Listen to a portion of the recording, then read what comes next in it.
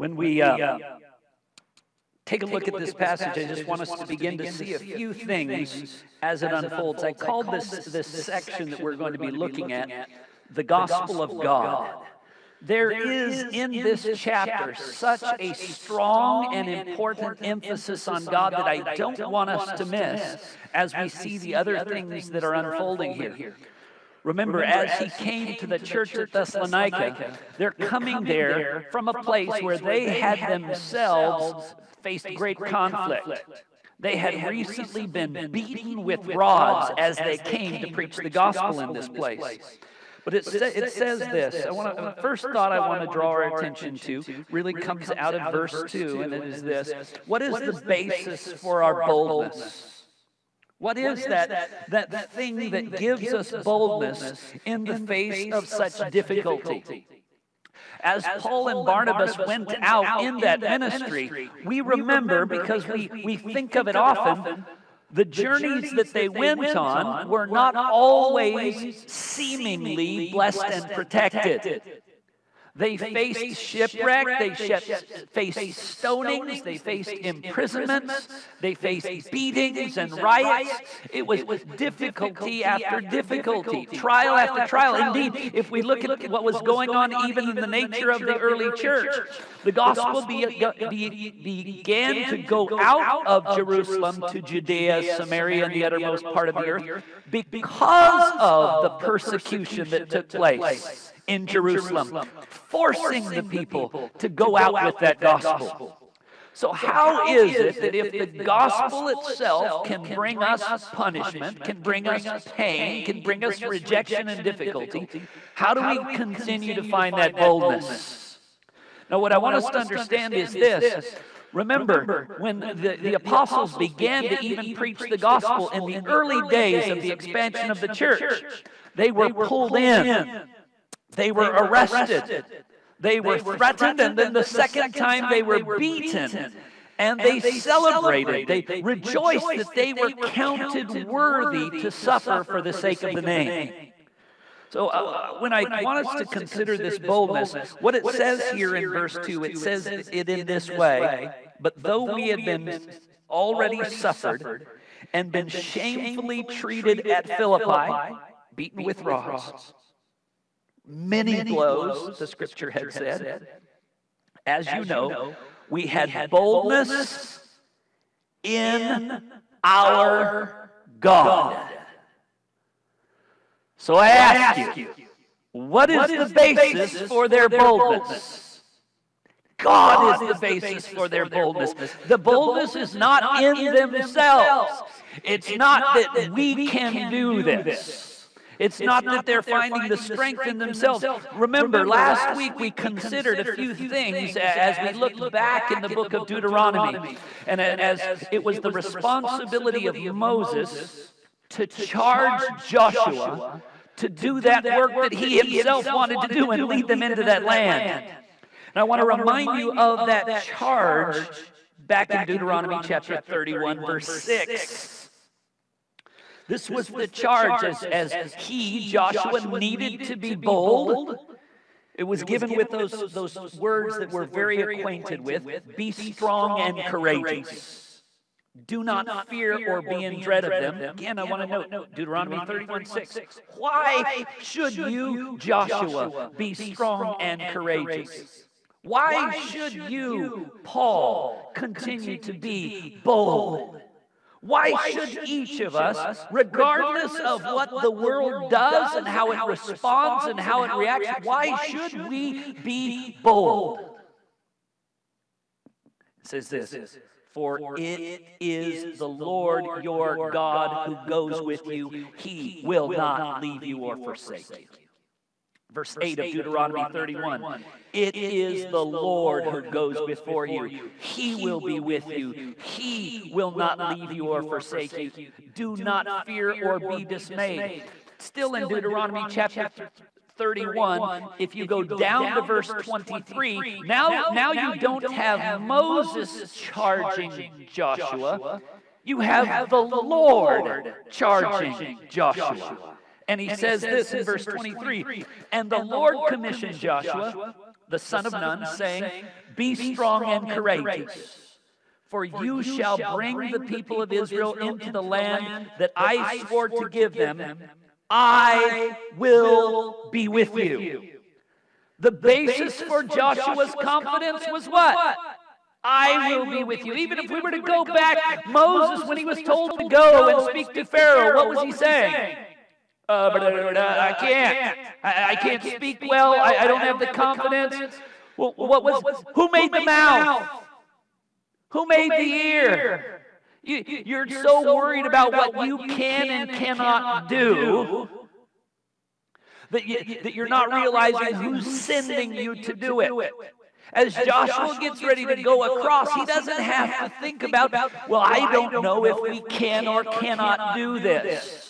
I don't know if we can or cannot get through this rushing, raging Jordan River. I don't know if we can or cannot surmount or overcome the wall at Jericho. I don't know if we can or cannot. He didn't have to ask that question over and over again. I don't know if we can or cannot. Generally speaking, for most of those situations, it would have been as simple as this I know we can't. I know we can't get through that river without, without a walkway or a bridge or until it's sort of the dry season. I know we can't get through. I know we can't overcome these numerous people. I know we can't break down that wall. But he doesn't have to worry about what he can't do. And why does he not have to be disturbed or distracted by what he cannot do? Because the Lord is with him. And what can the Lord do? whatever he pleases. And so this is the confidence that is to be his. Uh, uh in Joshua 1 9, he tell, reminds him of this. Have I not commanded you, be strong and be courageous? Do not be frightened and do not be dismayed, for the Lord your God is with you wherever you go. When David, also last week we looked, had to charge his son Solomon to build the temple Though he had wanted to and longed in his heart, God said, Nope, not you. Your son will build it.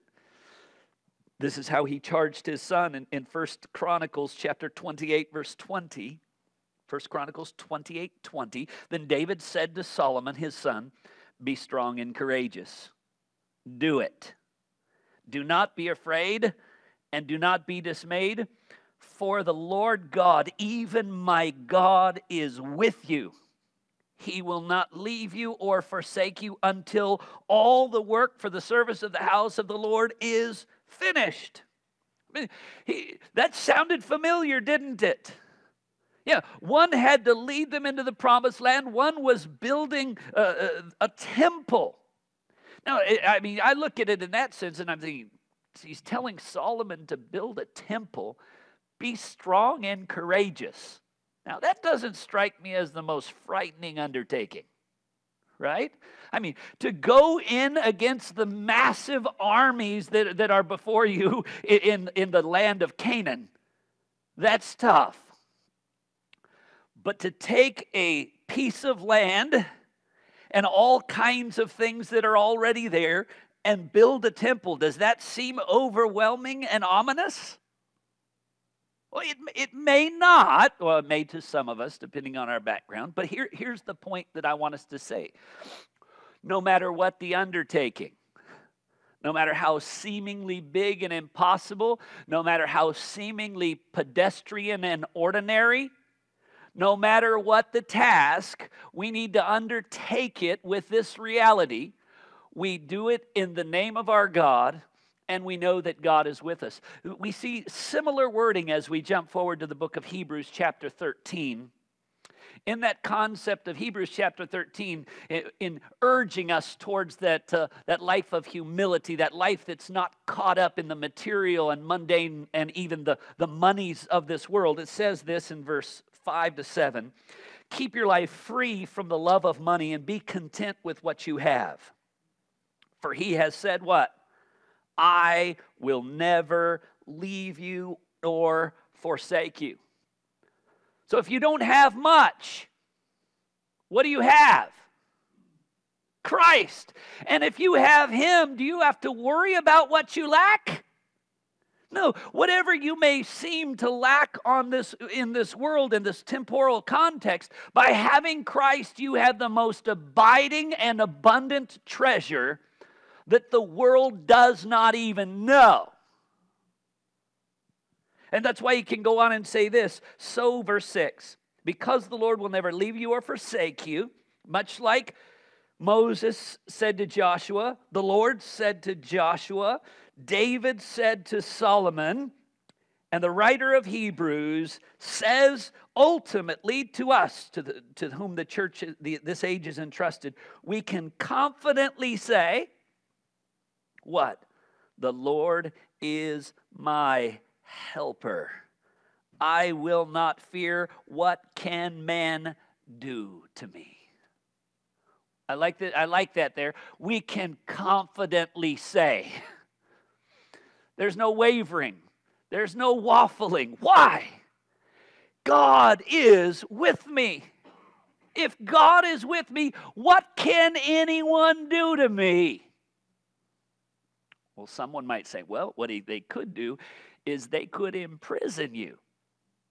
Well, that's true. They did that to Paul. They could beat you with rods. Yeah, that's true. They did that to Paul too. They could stone you. Yes. They could spread lies against you. True. Maybe you could be killed, even beheaded. Well, that's what happened to James. That's true.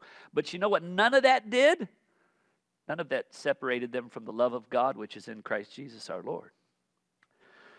No one could do anything beyond what God had purposed to be done. And so we can say without fear, What can man do to me? No more or less than God has purposed for me. That gives us boldness, right?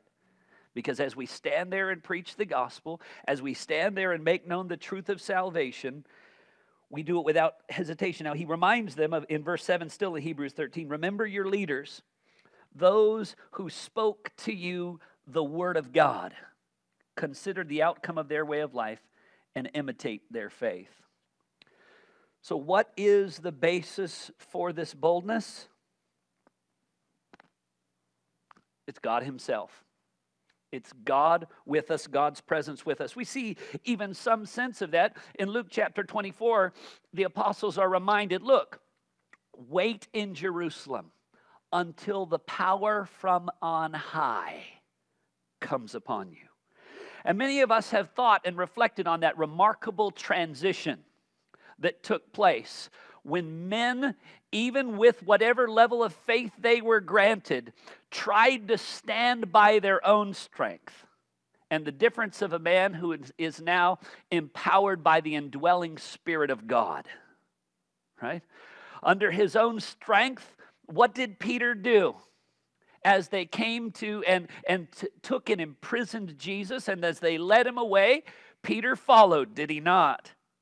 and he went to that campfire out that window. And we remember this event well, don't we? Here is one who stood there and he, he had told Jesus that very day, he had told Jesus what? Even if everyone else turns away from you, I will not. And Jesus said, Oh, actually, you will. And he says, No, I will not, even if I must die, I will not deny you. What did Jesus tell him? Well, actually, three times tonight.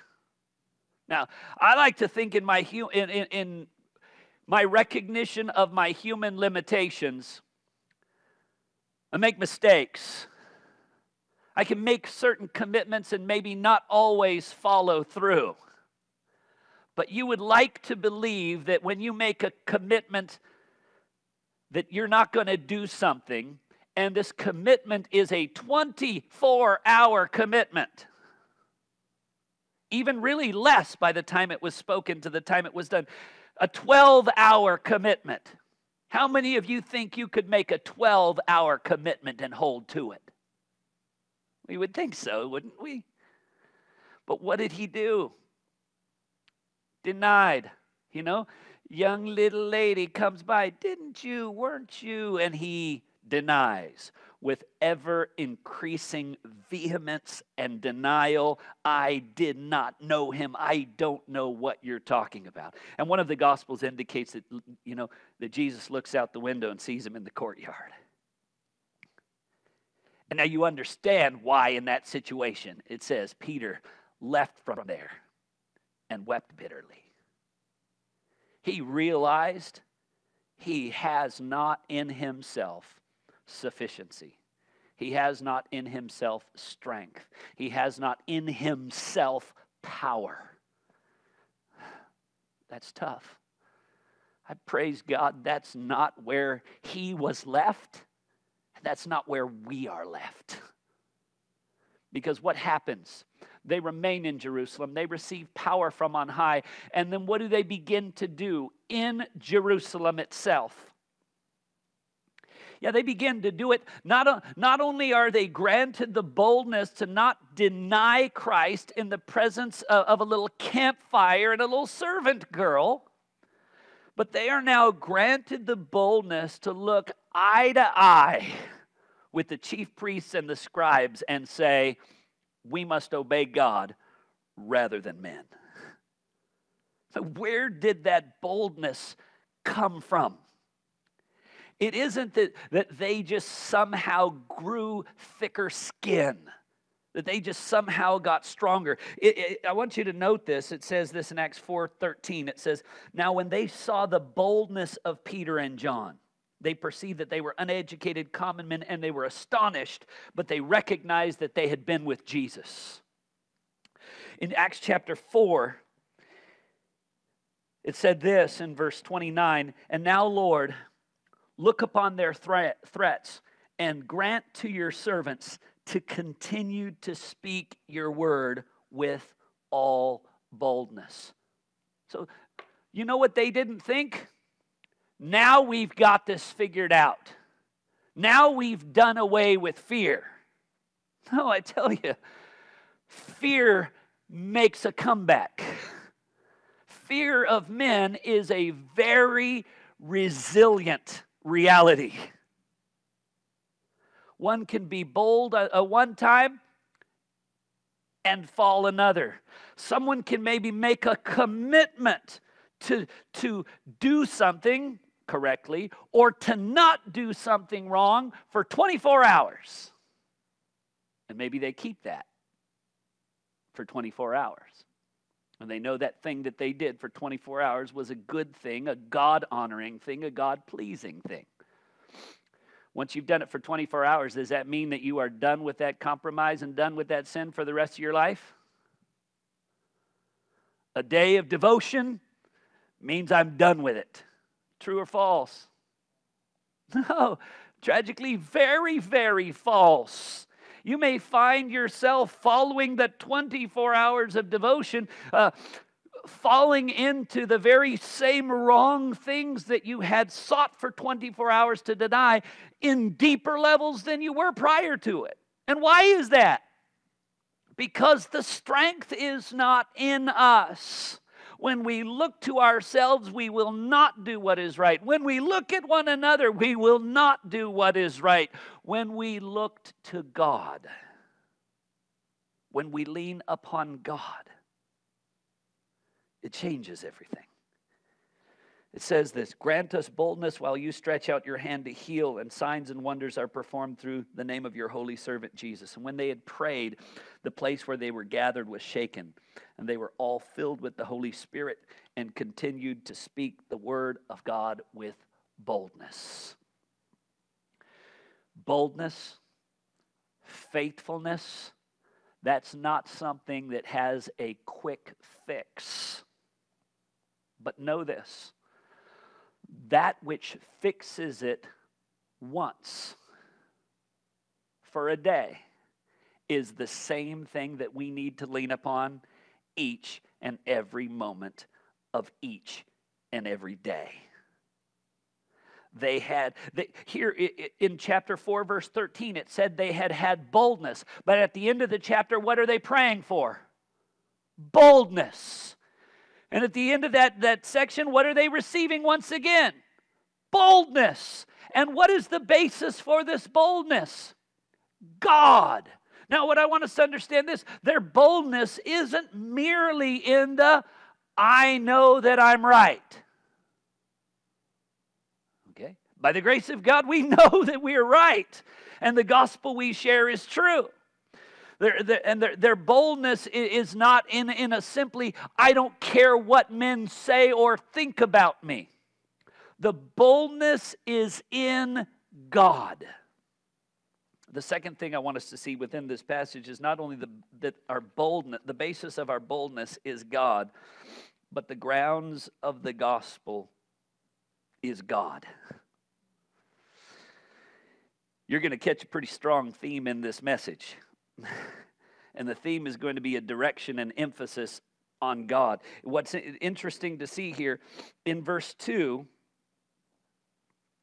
as well as in verse 8 and in, in verse 9. It says this in verse 2 We had boldness in, God, in our God to declare to you the gospel of God in much conflict. Down in verse 8, it says this.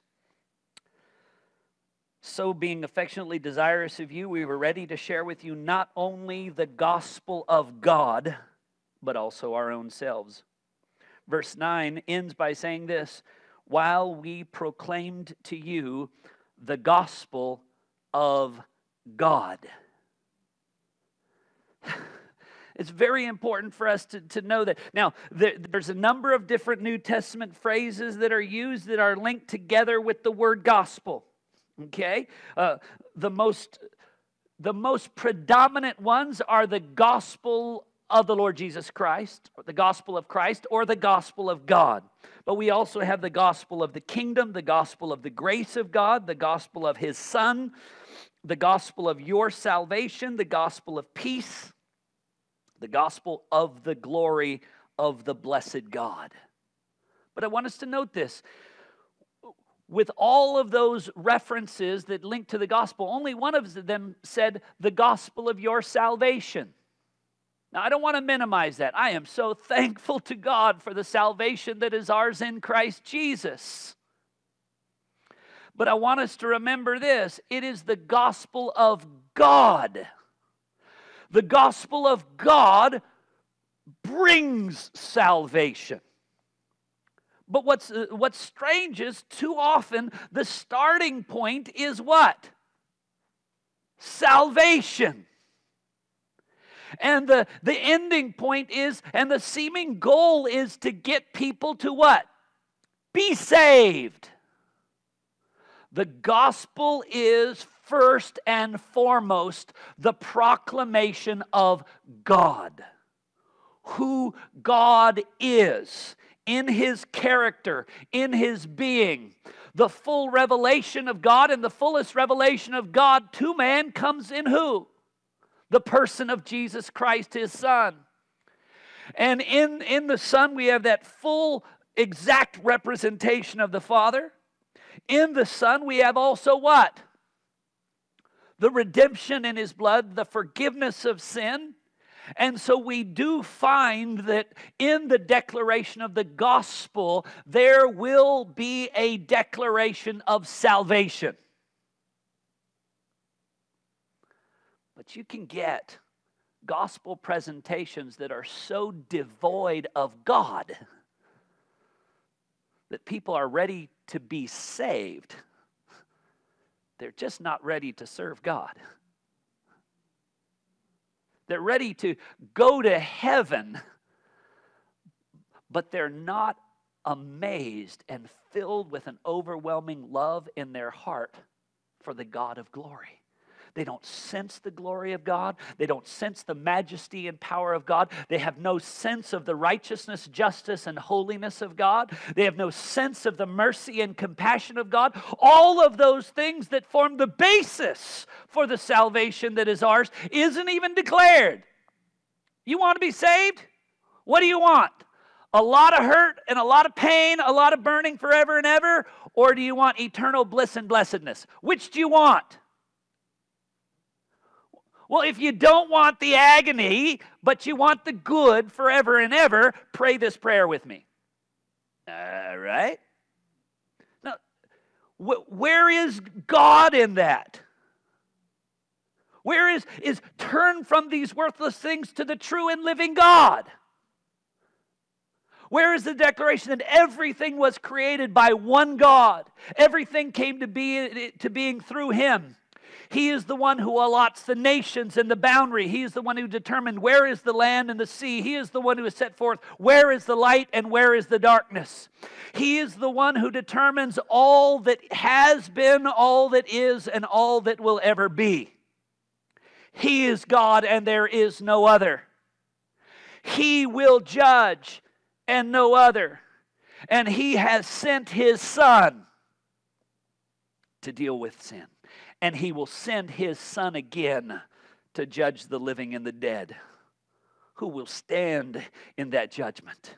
The only hope of standing in that judgment is the forgiveness that is ours by faith in Christ Jesus alone all that he was, all that he said, all that he did, all that he is. Do you believe in him? I mean, uh, sometimes it's important for us to, to roll it back just a little bit. It's the gospel of God. It's not just the gospel of, of heaven. It's not just the gospel of deliverance. I fear that if we were to go around and talk to a lot of Christians, using the term loosely, and, and ask them what is it they're, they're looking forward to. What is it that they're most eagerly longing for? Uh, we're supposed to, for us, that, that eager longing and blessed hope should be the glorious appearing of our God and Savior Jesus Christ. But a lot of people, you ask them, what are you really longing for? Why, I just can't wait to see the streets of gold. You know, I'm just thinking, streets of gold, how shiny. And really?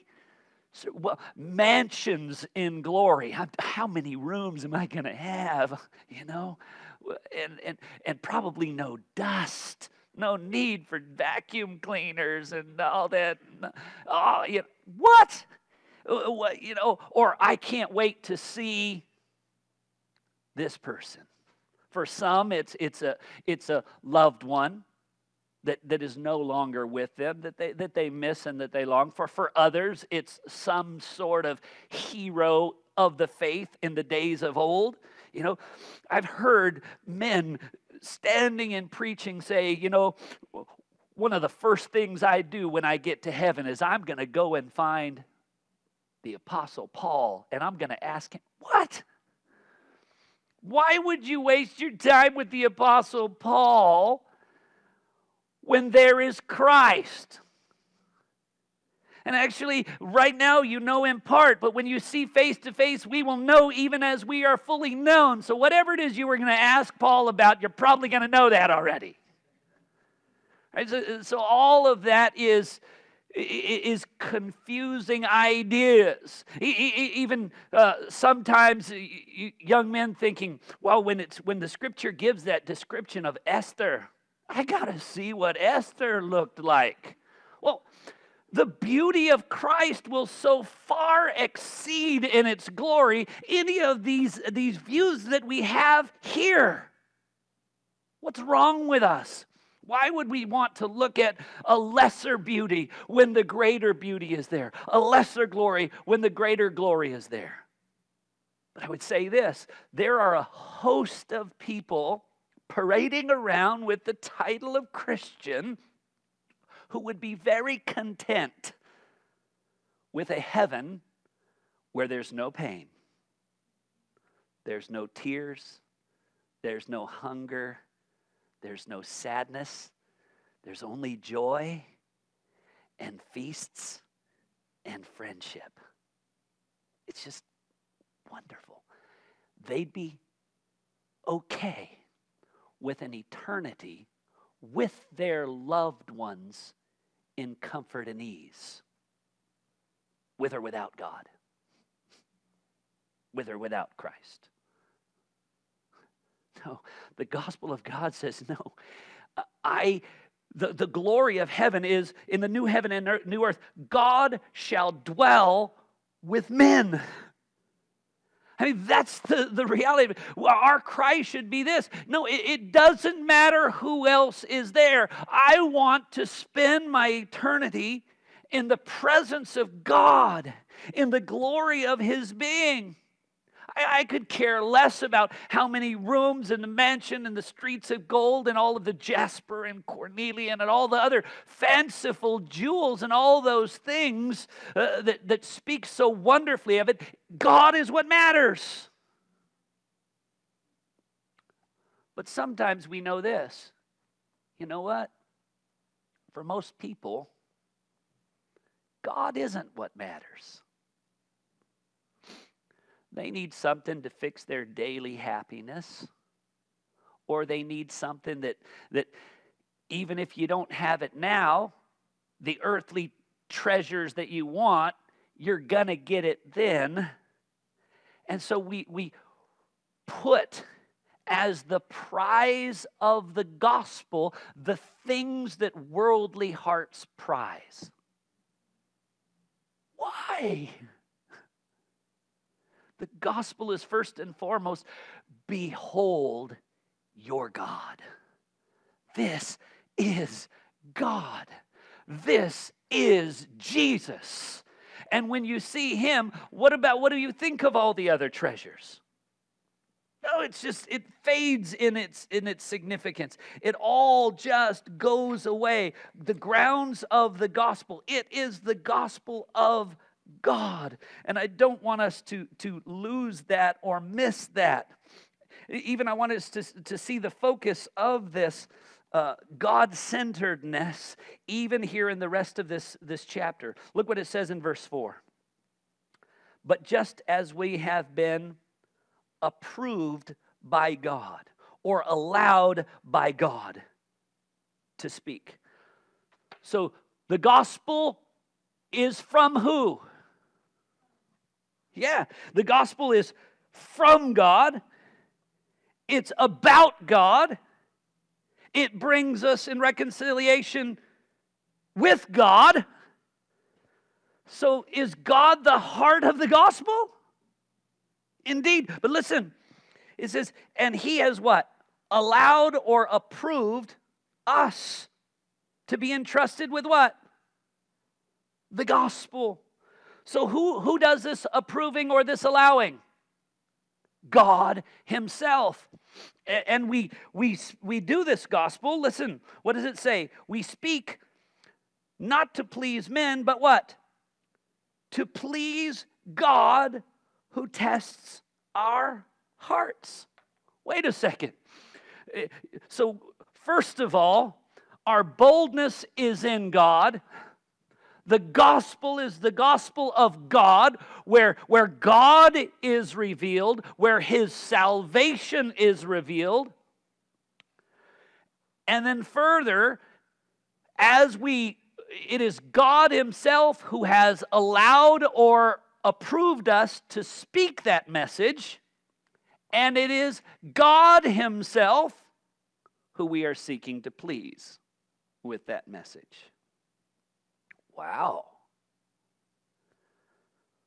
Now, what this is this is really important um, for a couple of different reasons. Look what it says. Um, if we really get this grounds of the gospel, go over with me.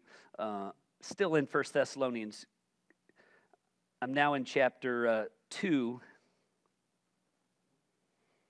verse thirteen says this We also thank God for this, that when you received the word of God, which you heard from us. All right, so the gospel of God that they preached is the word of God, because again, it's not something that any of us invent. So if somebody says, Well, where do I come up with this gospel? You get it from the word. This word of God that was preached, what does it say? Which you heard from us, you accepted it not as the word of men, but for what it really is the Word of God, which is at work in you believers. And you brothers became imitators. Now, this is why it's important. Listen to what the scriptures say. Um, in Galatians, Paul says it this way in Galatians 1, verse 11 and 12. He said, For I would have you know, brothers, that the gospel that is preached by me is not man's gospel. For I did not receive it from man, nor was I taught it, but I received it through a revelation of Jesus Christ. And so the gospel that, that, that was received by Paul, the gospel that was received by all of the New Testament authors, where did they receive that gospel from? God Himself. So the origins of the gospel, it comes from God. The revelation in the gospel, it reveals God and, and the purposes of God and the person of his son Jesus Christ. But let, let's not be done. Why is this so important? Listen to a few verses if you would. In 1 Timothy chapter 4, it reminds us of this. Now, it says to the church, he says to the church at Thessalonica that you have received this message, that I've shared it with you, and there has been much contention. You can see there at the end of verse uh, verse 2 it says to declare to you the gospel of God in the midst of much conflict. The word conflict there is literally the Greek word agony, which I think you can figure out which English word is derived from agony. Right? It, it, is, it is a striving, it is a contention. Now, that was going on then. There were beatings, there, there was mistreatment, there was much struggle, but in First Timothy, we're reminded that things are going to get even worse in different ways. Look what it says in First Timothy chapter 4, verses 1 to 3. Now the Spirit expressly says, now I like that phrasing there just wanting, wanting to know that this is, this is not a possibility. This is not a, a, a little likelihood. This is a surety. Says what? That in latter t- times, some will depart from the faith, devoting themselves to deceitful spirits and teachings of demons. Now, that's a scary thought, isn't it? for sure. Now remember this no one who does that ever steps forward and says, Listen, I'm getting ready to teach you some teaching I learned from demons, or what I've received from deceitful spirits. See, what the deceitful spirits have done is they deceived that guy. And he is sharing it possibly with full conviction and full commitment and full belief. But he's wrong. Because what he's holding to is not something that God has given, it's come from another source. The importance of the gospel, the importance of all that we do is we don't listen to secondary sources. Secondary sources hold no authority. God's word, as given by God's Spirit through God's appointed messengers, held all authority and continues to hold all authority. It says, watch out for these, reminding of them. Eh, some of them would, maybe they'll forbid marriage, require abstinence from foods uh, that God created to be received with thanksgiving by those who believe and know the truth. Ending that phrase, by those who believe and know the truth, that's the contrast with the false teachers. Those who believe and know the truth can enjoy the things that God has provided. These false teachers, they don't believe and know the truth. Second Timothy chapter 4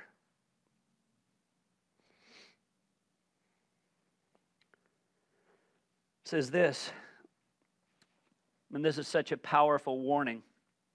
As Paul writes to Timothy, Timothy has been, been faithfully trained, but here's the reality as Timothy serves, you need to be continually reminded of these things. It's just so easy to compromise. It's so easy to fall back. And so uh, Paul writes to Timothy here in 2 Timothy chapter 4 verse 1 to 5 and says this, I charge you in the presence of God. That's pretty strong charge, isn't it? Because at what point will Timothy not be in the presence of God? Okay, there's, there's no point. So this charge has absolute permanence, doesn't it? And it, not only does it have permanence, but I charge you in the presence of God, is not God the one who has all authority and all power? I charge you in the presence of God, but he extends the charge even further. I charge you in the presence of God and what? Of Christ Jesus.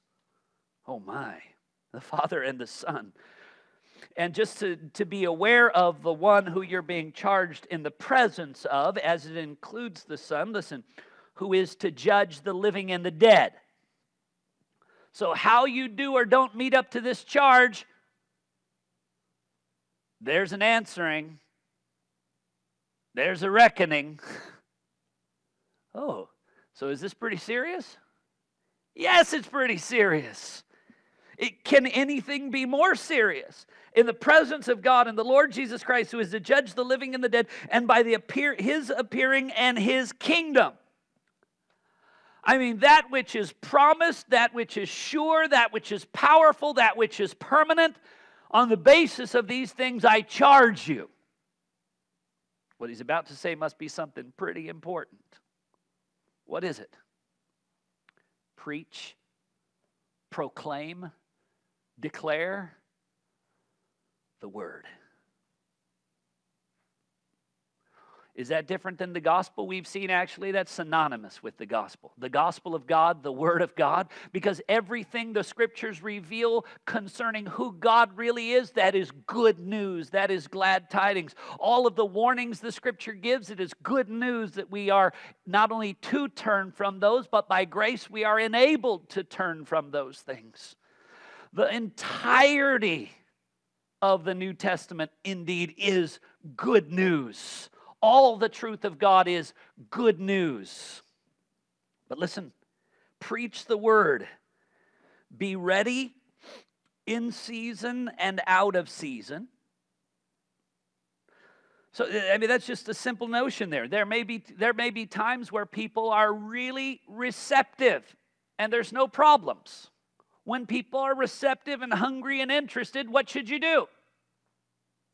Preach the word. When people are disinterested, not motivated, could care less, and kind of bothered, what do you do? Preach the word. Wait a second that seems uh, so different than so many multitude of books that have been sold. No, you can't just preach the word. You got to get your finger on the pulse of the culture. You know, you got to understand the postmodern, the post Christian age and mindset. You got to blah, blah, blah, blah, whatever. Here's what you got to do preach the word. You know what you don't need to know? Every little detail about everyone's personal deception. What you got to know is the Word and preach the Word. Because that's it. Romans chapter 1, verse 16 tells us what? I'm not ashamed of the gospel because it is the power of God unto salvation to everyone who believes, to the Jew first and then to the Greek. So if we stop preaching the word, if we stop preaching the gospel, you know what's no longer there?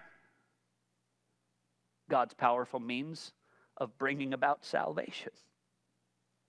Is there any other means of bringing about salvation? No.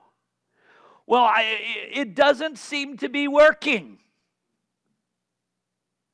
Well, listen to me very clearly. Nothing else will work. There is no other means of salvation. There is no other message of salvation. You don't mess with it. You don't, you don't melt it down. You don't water it down. You don't substitute flattery. You don't twist it. You don't distort it. You preach the word. And here it says this way to Timothy reprove, rebuke. Now, it's interesting that it starts with those two things because those are some of the least popular things to do.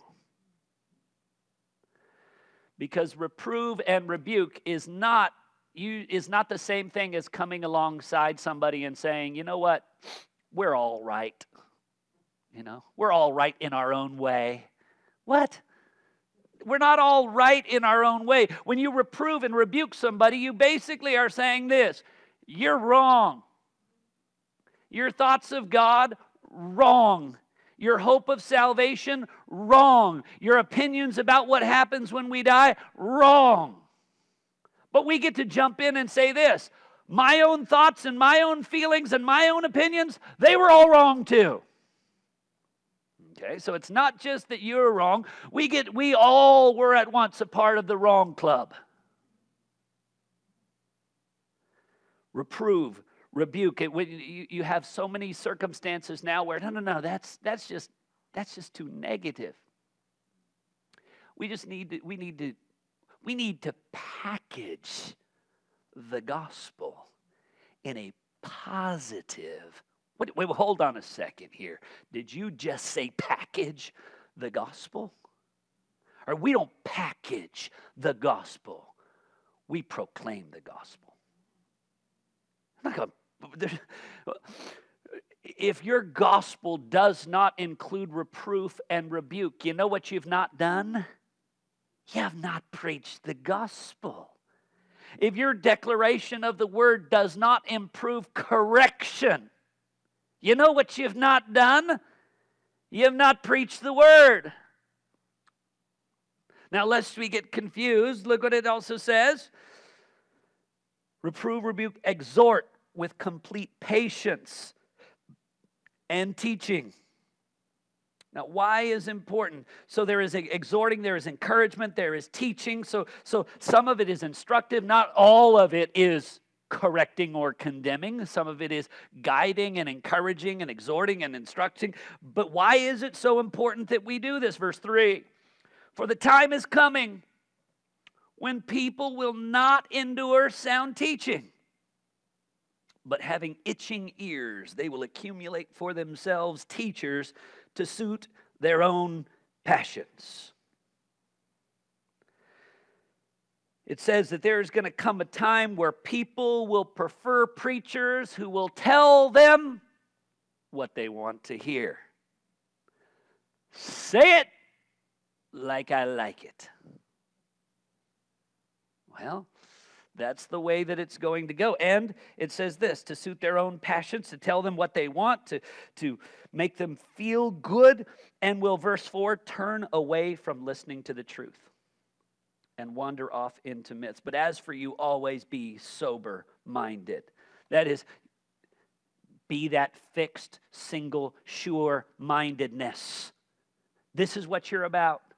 You don't let people push you this way and that way. You do the work of an evangelist. And what is his work of an evangelist going to be? Declaring the gospel of Jesus Christ, the gospel of God that unshakable, unchangeable gospel of the word.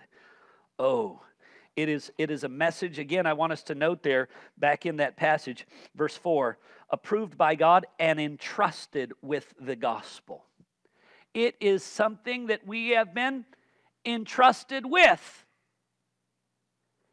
It is, it is something we did not devise.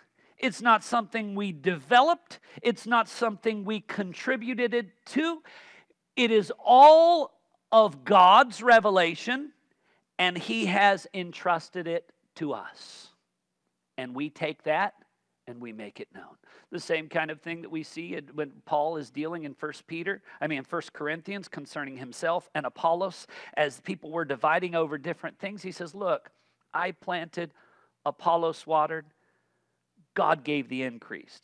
Neither the one who plants or the one who waters is anything. Why are you making so much of men?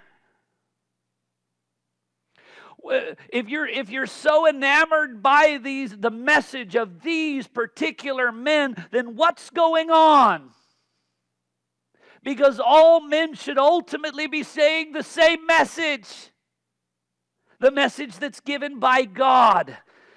Because one is watering one is pouring uh, and one is planting one is pouring water but God himself gives the increase and I always remind us back on that. Was God not also the one who was giving the seed to the sower? Hmm. And was God not the one who's giving the water to the waterer?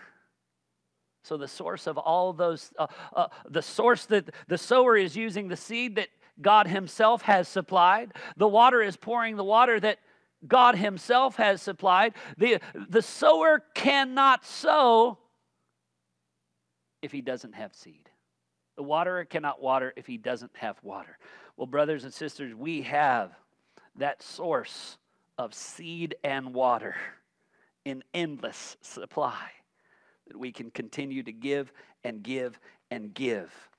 But we've got to make sure this we are giving the seed.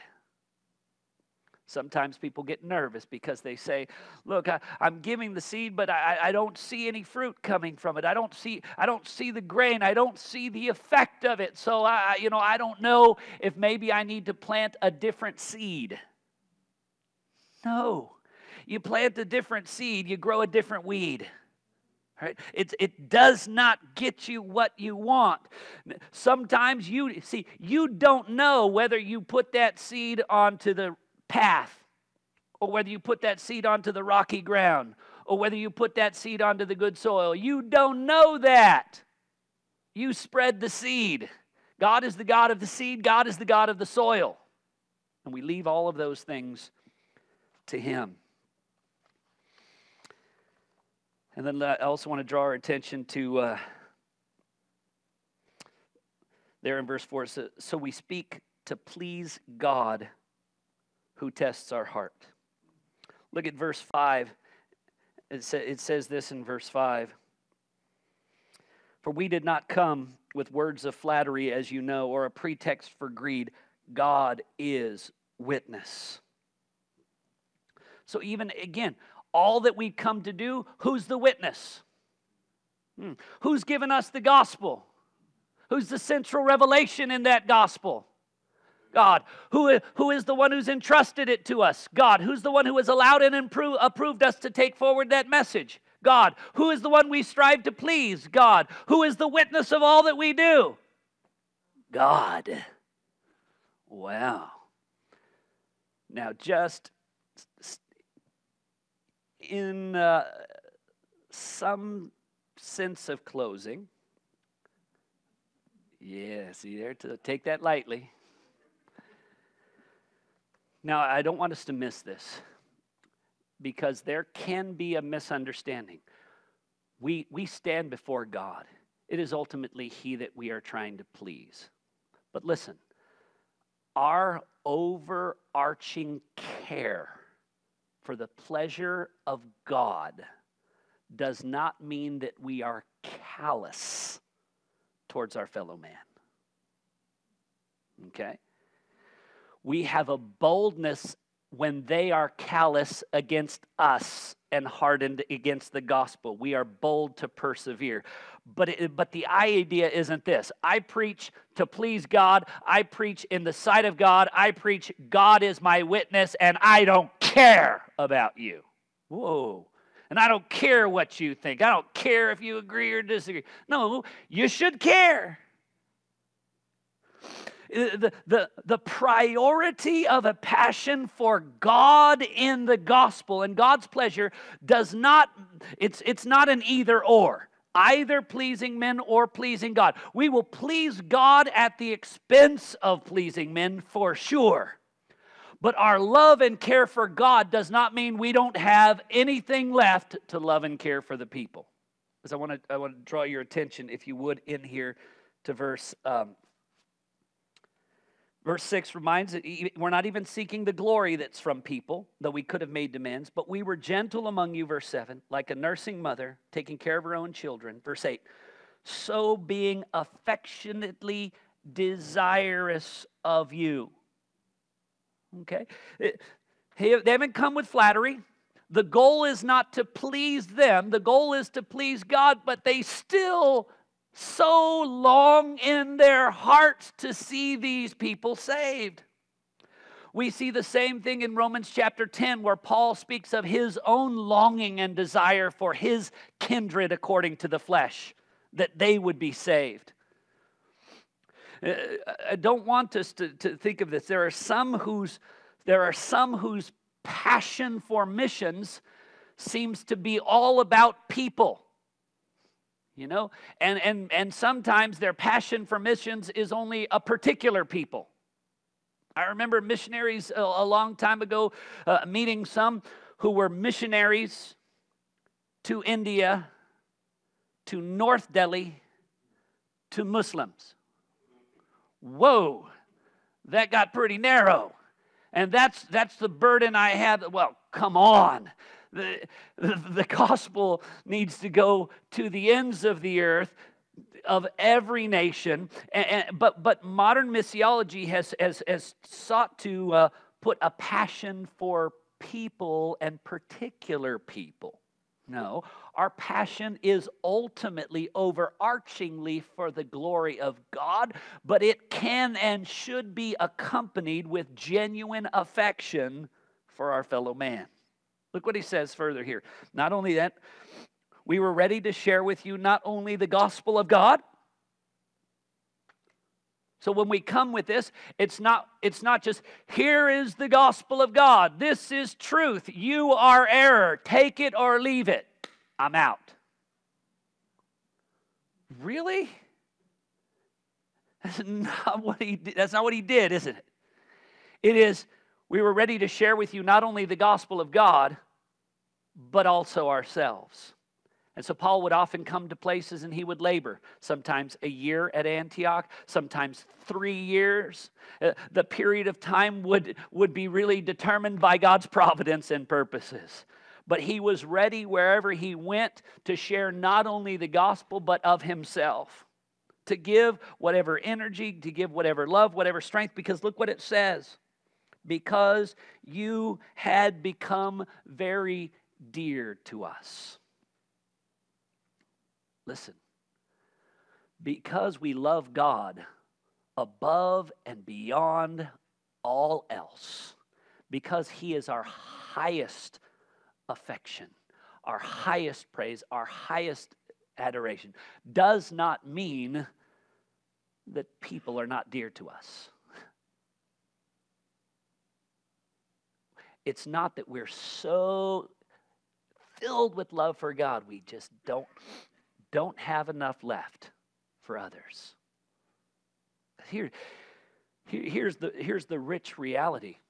See, for those of us who have, by the gospel, been granted to see the glory of God in the face of Christ, God is so easy to love because He's glorious, He's powerful, He's merciful, He's patient, He's perfect. All right, I look at you. And maybe you're looking at me and you're thinking, he ain't perfect. And you're right. And he ain't powerful. And you're right. And he ain't too patient. And you're right. And you, you could go on with all of my limitations and all of my shortcomings compared with God. But here's the, here's the rich reality is that we become dear to one another. Not that we're deceived into thinking every one of us is perfect and make no mistakes. You know, make no mistake, you make mistakes. All right? That's, that's an absolute given. But here, here's the richness of, of this.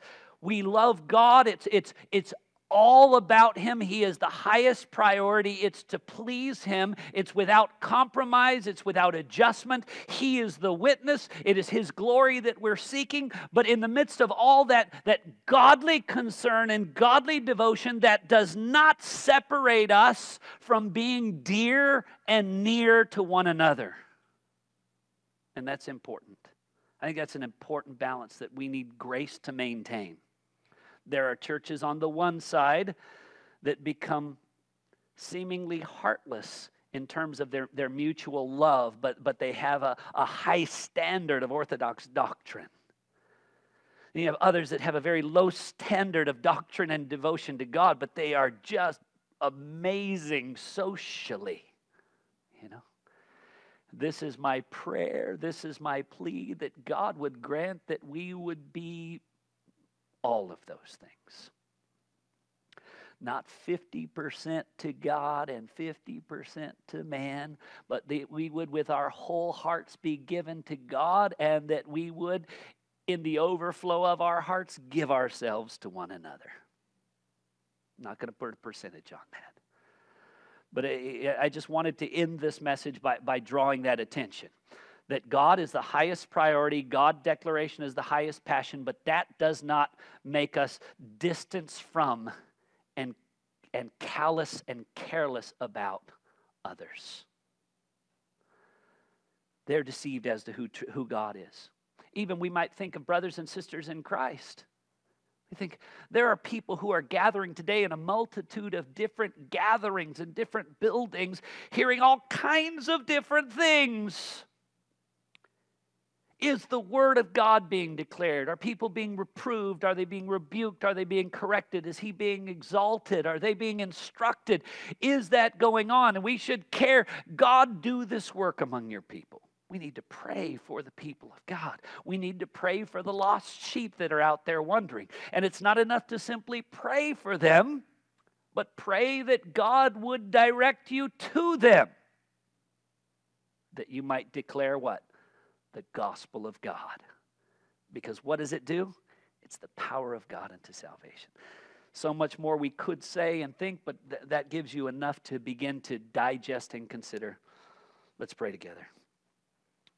Lord, as we um, just close out this session, having really just looked over certain things, the scripture reminds us here about the centrality and the priority of God. Lord, of your person, of your word, and of your work, which includes your salvation and grace. But Lord, let us not soften, let us not oversimplify let us not tw- twist those things that are necessary and true. Lord, uh, the rich reality that people would come to know who is God and who is Christ, and that they might know Him and love Him and be found in Him who is eternal life. Lord, help us uh, to overcome the prevailing patterns of preaching a salvation that is, is light on God and heavy on love. Lord, let us set forth the God who is both judge, who is righteous, and who in love sent forth his Son. Lord, let us declare the whole truth without shame. Let us de- declare the whole truth regardless of men's response. But Lord, let us declare it in order to be approved by you. Let us declare it in a way that's faithful to the gospel that's been entrusted to us. But Lord, let us not simply declare it with words, but may you grant us also to give not only the gospel of God, but to give of ourselves. Lord, if our hearts, because of the hardness of this world, have become hardened towards those around us, have become callous pray that you would soften it, that we would, even as, as you worked in the heart of the Apostle Paul here and at, at other times with Titus and Timothy, that you would put into our heart a sense of the dearness to your people. Lord, that we would have an affectionate desire for them. Lord, I pray that you would continue to stir up that rich fellowship and love within this body. In Jesus' name we pray. Amen.